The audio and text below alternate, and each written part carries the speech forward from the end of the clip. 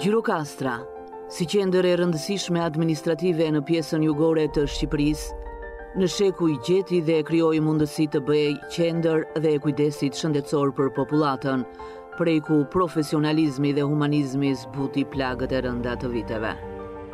Vendosur në shtëpinë e Shahin Karagjozit, rrëzë kalasë në lagjen Teqe, në 16 nëntor 1923, u hap stacioni i parë shtetëror me emrin Dispanseri, në sajë të përpjekjeve tepër serioze dhe me insistimin e parisë së qytetit, duke qenë ndër spitalet e parë shtetërorë të krijuar në vend. Kapaciteti i tij ishte dymbëdhjetë shtretër ku bëheshin vetëm mjekime patologjike. Drejtor i stacionit ishte doktor Ismet Gega, lindur në Gjirokastër, diplomuar në Stamboll. Në vitin një mijë e nëntëqind e tridhjetë e tre, duke qenë drejtor Kamber Malile, ky spital transferohet në një tjetër shtëpi gjirokastrite, në atë të familjes Kadare në lagjen Hazmurat. Në fund të vitit një mijë e nëntëqind e tridhjetë e katër u transferua si kirurg dhe si drejtor operator i Spitalit të Shtetit Gjirokastër, doktor Vasil Laboviti, lindur në Gjirokastër, diplomuar dhe specializuar në Graz të Austrisë.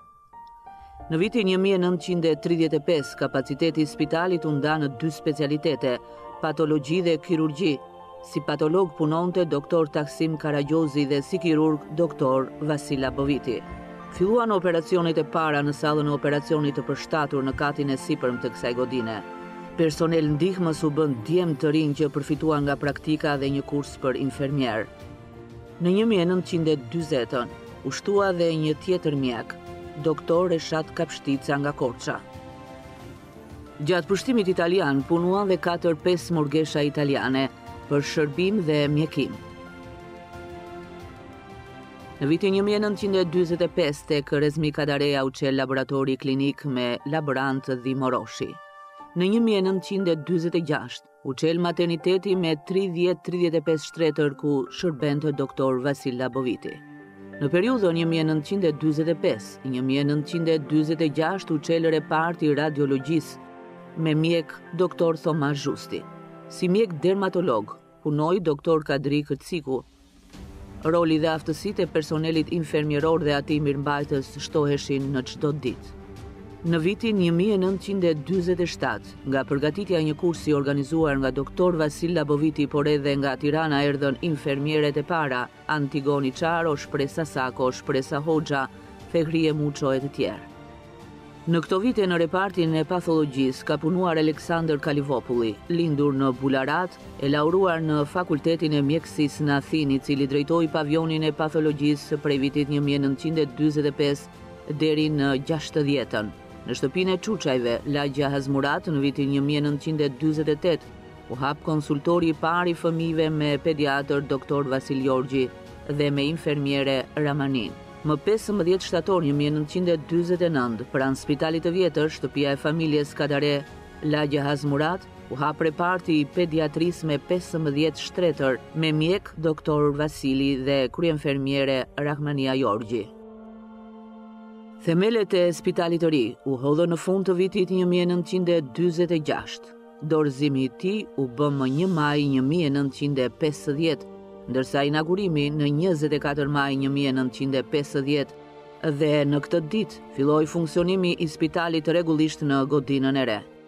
Mjekët që filluan punën në spitalin e ri ishin Vasil Laboviti, Aleksandër Kalivopulli, Vasil Jorgji, Thoma Zhusti, Sotir Velo, Zyhdi Tepelena dhe ndihmës mjekët Sotir Kote, Verdi Saraçi e të tjerë. Në vitet 1951, 1954 filluan punën, doktor Daut Baboçi pas mbarimit të studimeve në Hungari, farmacisti Aristotel Gjini, i sapo diplomuar në Greqi, Akile Zoto dhe Vasil Milaj me studime të mbaruara në Hungari. Maria Milaj, farmaciste me origjinë hungareze, filloi punë në farmacinë e spitalit.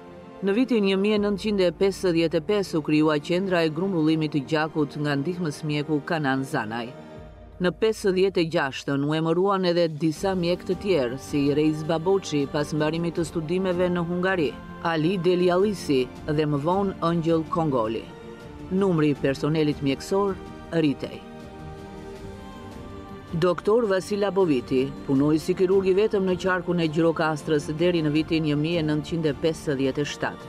Drejtoi spitalin e Gjirokastrës në vitet një mijë e nëntëqind e tridhjetë e pesë deri në një mijë e nëntëqind e pesëdhjetë e katër dhe që nga ky vit derisa doli në pension në shtatëdhjetë e treshin Ka qenë shefi i pavionit të kirurgjisë. Në vitin një mijë e nëntëqind e pesëdhjetë e shtatë erdhën kirurgët e parë, Dhimitër Shyti, Pilo Velo dhe Kristo Pandovski, Naum Theodhosi, Margarita Basha dhe më pas Jorgo Kaçi e Aristotel Gushi. Rreth viteve gjashtëdhjetë vjen brezi i mjekëve të diplomuar në Fakultetin e Mjekësisë Tiranë, i cili eci në traditën e krijuar. vazhdoi dhe zhvilloi punën në pavionet e krijuara më parë dhe shumë prej tyre u bënë iniciatorë të specialiteteve dhe kabineteve të reja të munguara në spitalin Gjirokastër, si Kristaq Duka, krijuesi i shërbimit të kardiologjisë. Adem Harxhi ngriti të parin repart të okulistikës, Filip Koti, themeluesi i shërbimit obstetrik gjinekologjisë dhe drejtuesi i këtij shërbimi për vitet një mijë e nëntëqind e gjashtëdhjetë e tre, një mijë e nëntëqind e tetëdhjetë e nëntë. Theodhori Rafti, iniciatori i shërbimit të neurologjisë, Foto Biçuni, mjeku i parë laborant klinik biokimik i cili ndërtoi dhe perfeksionoi shërbimin e laboratorit klinik biokimik. Mjekët specialistë të viteve shtatëdhjetë krijuan specialitetet që mungonin dhe zhvilluan më tej shërbimet e ngritura më parë, si Asllan Kalemi, shërbimin e sëmundjeve reumatizmale, Hodo Çela, shërbimin e sëmundjeve endokrine, Vergjeni Çela u bë mjekja hematologe e parë, Kostandin Goga, anestezist reanimator, Violeta Llapi, neonatologe. Në këto vite, Spitali Gjirokastër ishte shkollë edukimi, kualifikimi dhe konsultash për të gjithë mjekët e jugut. Në vitin 1981 u hodhën hapat e parë të reanimacionit pediatrik me katër shtretër me doktor Andrea Gulla. Në vitet 80 shërbimit të kirurgjisë i shtohet shërbimi i ortopedisë me mjekun Murat Kaçi. Mjekët specialistë të viteve 80 e 90 prunë risi në shërbimet përkatëse dhe kontribuan në konsolidimin dhe rritjen e cilësisë së shërbimeve. Edukimi profesional ishte vëmendja kryesore e drejtuesve të spitalit dhe e vetë mjekëve. Në vitin një mijë e nëntëqind e nëntëdhjetë e dy u çel shërbimi i anestezisë dhe reanimacionit me shef Kostandin Hido. Përkushtimi, kujdesi dhe puna e këtyre brezave qëndron në themelet e shërbimit spitalor Gjirokastër. Në gjurmët e tyre ecin me sukses mjekët e viteve të mëvonshme duke punuar me frymë bashkëpunimi, konsultimi dhe respektimi me njëri-tjetrin dhe personelin ndihmës mjekësor për cilësi në shërbimin e dhënë ndaj të sëmurëve, dhe në përpjekje të vazhdueshme për ngritjen e tyre shkencore dhe profesionale. Pas viteve 90, shumë ndryshime dhe përmirësime kanë ndodhur në aparaturat dhe teknologjinë e spitalit Gjirokastër, duke përmirësuar mundësitë diagnostikuese. Këto përmirësime janë shoqëruar dhe me përmirësimin e njohurive të personelit mjekësor dhe kanë rritur cilësinë e shërbimit dhe kujdesit diagnostikues dhe kurues që ofron Spitali Gjirokastër për të gjithë qarkun jugor. Në vitin 1993 vjen aparatura encefalograf për trurin, në 2003 vjen aparatura encefalograf e kompjuterizuar. Në vitet nëntëdhjetë e tetë dhe dy mijë vijnë eko të para kardiake. Në vitin dy mijë vjen fibrogastroskopi i markës Olympus dhe hapet kabineti i gastroskopisë. Në dy mijën vjen audiograma dhe fibrolaringoskopia. Në tetor të vitit dy mijë e gjashtë hapet shërbimi i dializës te godina e maternitetit. Në vitin dy mijë e dhjetë shërbimit të imazherisë iu shtua edhe shërbimi i skanerit i firmës Toshiba. Në vitin dy mijë e gjashtëmbëdhjetë, vijnë eko digjitale kardiake, holter i ritmit, holter i tensionit, prova ushtrimore, defibrilator. Në vitin dy mijë e tetëmbëdhjetë, filloi dhe ekzaminimi i mamografisë aparat digjital. Në vitet dy mijë e njëzet e dy, dy mijë e njëzet e tre u zgjerua gama e analizave në laboratorin e spitalit Gjirokastër për të sëmurët e hospitalizuar dhe ata ambulatorë. Në dy mijë e njëzet e treshin u vu në funksionim aparati i radiografisë digjitale, po në dy mijë e njëzet e treshin vjen densitometri. Ky vit përkon me 100 vjetorin e shërbimit spitalor në Gjirokastër. Spitali Rajonal Omer Nishani organizoi një event i cili bëri bashkë mjekë e infermierë që ndër vite kanë vendosur gurët e themelit për të arritur në këtë ditë duke mbartur si uniformë misionin human dhe vlerat më të mira të shoqërisë. Një shekull histori, një shekull plot me bilance, ndryshime dhe ritme nga më të mëdha, që shoqëria njerëzore ka njohur dhe nevojat për shërbimin mjekësor kanë ardhur gjithmonë në rritje për një cilësi më të mirë të jetës. Mendimet në këtë njëqind vjetor shkojnë larg. Në vitet një mijë e nëntëqind e njëzet e tre, kur u hodhën themelet e këtij institucioni, i cili do të përballej me sfida të vështira jo vetëm në numrin e paktë të mjekëve, nderim dhe mirënjohje për gjithë ekipet që vazhdojnë me përkushtim dhe profesionalizëm të ndjekin traditën e këtij spitali. Historia e shërbimit mjekësor në Gjirokastër ka vendosur standarde që kanë lënë mbresa në rrjedhën e kohës.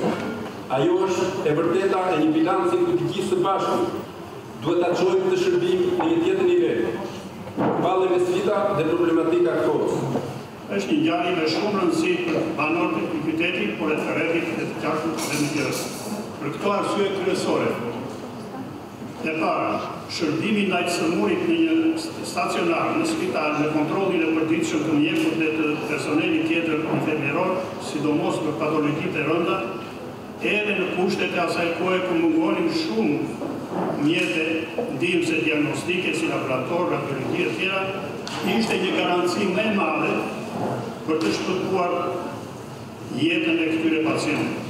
Dhe e dyta, para se të fillonte ky shërbim në qytet, të sëmurët e rëndë dhe sidomos ata që kishin nevojë për ndërhyrje kirurgjikale shkonin për t'u mjekuar Në distanca të largëta siç ishte qyteti i Janinit i Janinës ose në Vlorë, me një kosto të madhe ekonomike dhe jo që jo gjithmonë arrihej të përballohej nga popullata, popullsia e këtij rajoni. Vlen për t'u theksuar që natyrisht gjendja e spitalit është kompletuar ndër vite.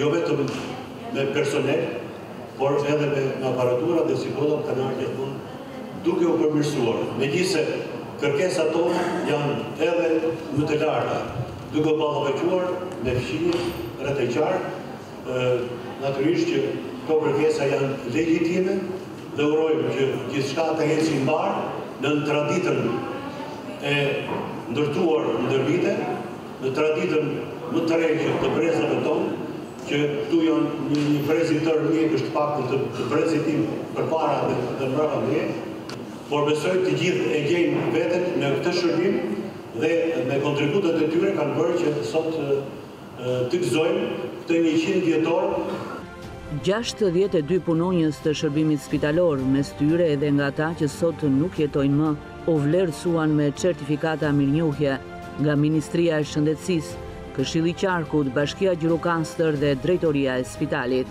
Atëherë i jepet Doktoreshë Vjosa Kokos. Doktoresha, urime dhe duar të mjetosh!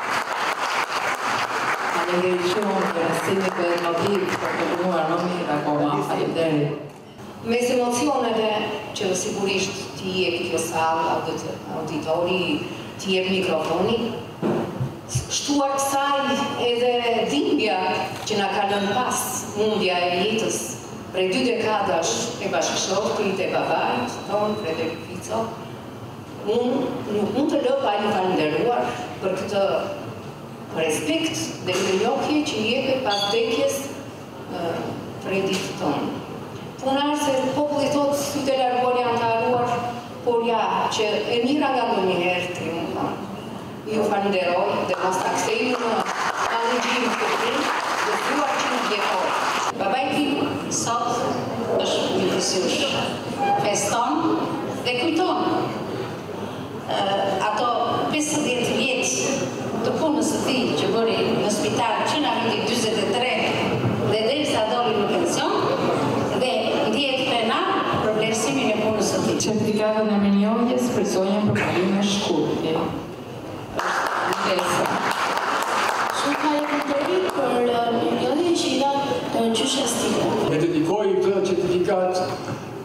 Gjithë personelit të spitalit por kryesisht të shërbimit të kirurgjisë.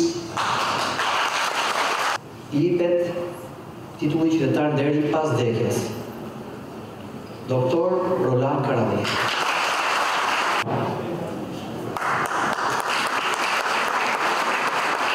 Dua të falenderoj kryetarin e bashkisë dhe gjithë këshillin bashkiak për këtë mirësi.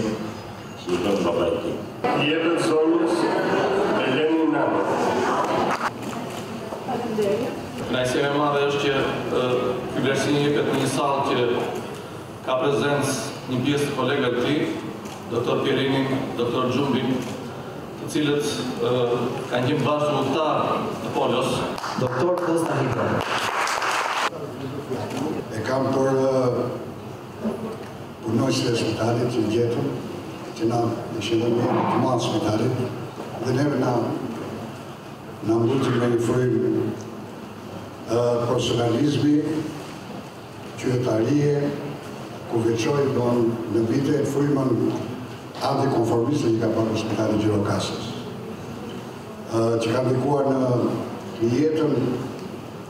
Kulturore të qytetit në jetën shoqërore, ashtu dhe politike. E pranishme në këtë event historik, Zëvendësministrja e Shëndetësisë ndau edhe lajmin e shumëpritur. Gjirokastra shumë shpejt do të përfitojë nga një investim tjetër për këtë spital, për t'i ndryshuar faqen spitalit, për ta përshtatur atë me një me një strukturë me kushte bashkëkohore, Patjetër që është investuar në teknologji mjekësore, me pajisje të reja mjekësore të cilat bëjnë të mundur të çojnë para diagnostikimin e pacientëve në kohë reale dhe me mjaft kualitet, por investimi më i madh patjetër që mbeten asetet tona më të çmuara që janë stafet tona shëndetësore. Jo vetëm për t'i incentivuar financiarisht, jo vetëm për t'i gjeneruar, për t'i trajnuar, për t'i mbajtur të punojnë dhe të kontribuojnë brenda vendit, por nga ana tjetër për të mësuar nga gjithë kjo traditë mjekësore që ne prezantuam sot këtu dhe Spitali i Gjirokastrës prezantoi me kujtimet që na sollën, kujtime të cilat mbeten të jashtëzakonshme. Sot Spitali Rajonal Gjirokastër ofron shërbim mjekësor dytësor të specializuar për popullsinë e rajonit me 184 shtretër. Numri total i të punësuarve është 274 prej të cilëve 160 janë staf mjekësor, 53 mjekë dhe 107 infermierë dhe pjesa tjetër 114 janë staf administrativ.